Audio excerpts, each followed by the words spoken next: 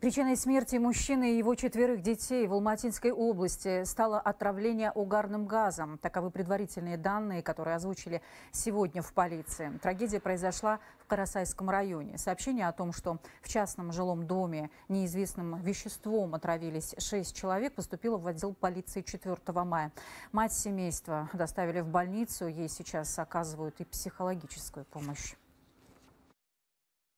Угарный газбен отравление Предварительный диагноз отравления угарным газом. Пострадавшую сегодня переведем в общую палату соматического отделения. Если состояние будет стабильное, возможно, через 3-4 либо 5 дней выпишем.